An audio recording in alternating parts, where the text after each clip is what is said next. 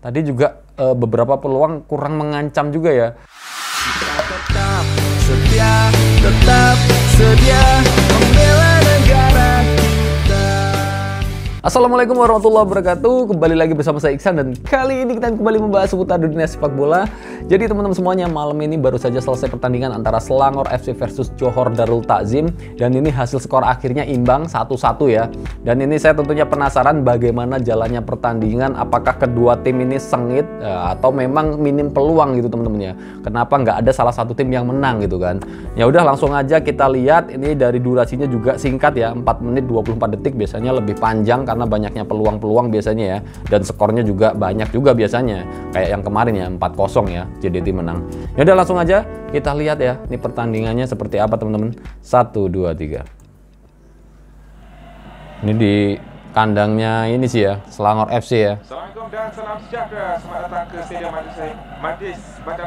Ya nggak apa-apa lah ya imbang ya satu-satu uh, masih memperpanjang rekor belum terkalahkan JDT Cuma uh, poinnya jadi nggak maksimal ya.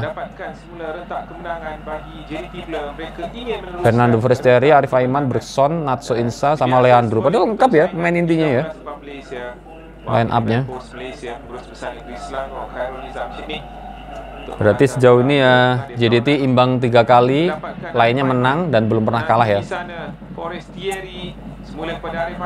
Wih, jatuhin. Oh, ini penaltinya ya, menit 29. Jadi langsung ke menit 29 highlightnya ya. Jadi dari menit 1 sampai menit 29 tadi nggak ada peluang yang benar-benar membahayakan gitu ya buat kedua tim mungkin ya. Ini soalnya highlightnya langsung ke menit 29. Ini terobosan dari uh, Forestieri ke Arif Aiman. Sebenarnya kontaknya nggak begitu keras ya, kontak fisiknya. Tapi ya memang jatuh ya dalam kotak penalti. Ini Bergson ini. Uh, kenceng banget. Kenceng dan tertipu. Kipernya tertipu. Salah arah ya udah. Deras sekali bolanya. Boom sepakan penalti deras. Oh. Gol ke-21 Bergson berarti ya. Jadi satu gol kosong kelebihan uh. untuk JDT. Yang juga merupakan uh, percobaan on target pertama perlawanan pada malam ini. Baik rakan daripada JDT ketika ini Matt Davis Ini peluang dari JDT lagi. Ah, pelan banget. Bergson ya? Oh iya.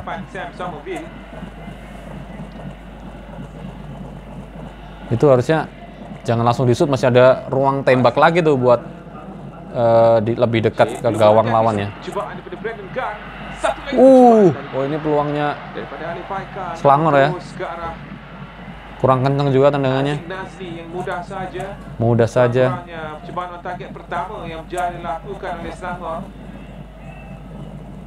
Satu umpan yang baik, agak sedikit awkward untuk dikeluarkan oleh Shane Lowry. Cubaan pertama daripada Brandon Gunn. Uh. Tiga saja benteng yang diarahkan. Ini peluangnya dari JDT lagi. Uh, masih menjauh ya, jauh dari melepasi gawang dari uh, gawang. Free kicknya Leandro. Oh, terlalu tinggi tuh Mas Ian. Oh, target. Kurang mengancam juga sih ya, kurang berbahaya. Bahaya. Uh, uh, ini ternyata gol balasannya. Secara tiba-tiba Selangor percaya ah. mendapatkan jaringan penyamaran Ini menurut saya kesalahan kiper sih menurut saya, menurut saya. Karena itu masih ada dua pemain bertahan yang ngejar, tapi kipernya udah terlalu cepat mengambil keputusan untuk maju gitu teman-teman. Jadinya langsung ditipu tuh kan, langsung digocek bolanya. Nah, langsung dilewatin kan. Uh, Terlalu cepat maju kipernya. Padahal masih ada dua pemain bertahan yang ngejar loh. Sampai keluar kotak penalti. Uh, salto. Peluangnya Selangor lumayan juga ini. Tapi melebar ya. Kaptennya ini.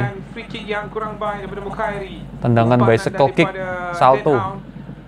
Ini jadi inget MU kemarin ya Ronaldo gini ya. Salto nggak gol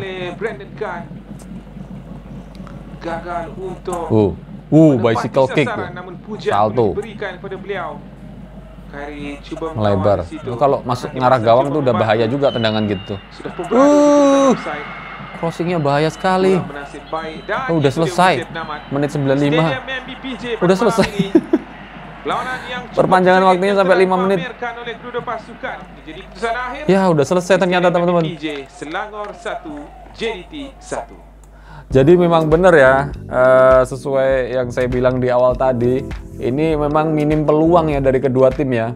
Jadi durasi highlightnya pun singkat gitu, cuma 4 menit. Tadi juga uh, beberapa peluang kurang mengancam juga ya.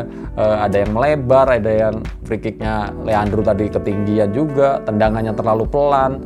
Terus golnya juga dari JDT cuma gol penalti, golnya Selangor tadi ya yang melewati kiper tadi ya itu sebenarnya kesalahan kiper JDT sih menurut saya karena terlalu cepat ambil keputusan untuk uh, keluar dari kotak penalti ya. Akhirnya digocek sama uh, pemainnya Selangor gitu kan. Padahal masih ada dua back dua pemain bertahan yang ngejar tadi. Harusnya ya nunggu aja dia. Mungkin malah nggak gol tadi temen-temen ya. Ya udah ini nggak apa-apa ya imbang satu-satu dari JDT uh, eh, karena memang permainan dari Selangor juga banyak peluang-peluang tadi ya, peluang-peluang yang sebenarnya kalau ngarah ke gawang juga cukup berbahaya gitu kan. Seperti tendangan yang salto tadi juga ya. Ya udah segitu aja. Yang penting eh, rekor tak terkalahkannya masih berlanjut ya. Walaupun ini nggak maksimal poinnya ya. Eh, harusnya bisa dapat poin 3 jadi cuma poin satu gitu kan. Nah, ya udah nggak apa-apa lah ya. Eh, kita support selalu untuk JDT. Semoga di next pertandingan berikutnya eh, bisa menang kayaknya pertandingan berikutnya final lawan Terengganu ya Piala FA ya kita support lah semoga nanti bisa menang ya kalaupun nanti Terengganu menang ya nggak apa-apa lah ya. Uh, respect untuk kedua tim teman-teman. Ya udah segitu aja untuk uh, video kali ini ya untuk video reaction kali ini. Terima kasih buat teman-teman yang selalu nonton video-video saya. Dan saya akhiri wassalamualaikum warahmatullahi wabarakatuh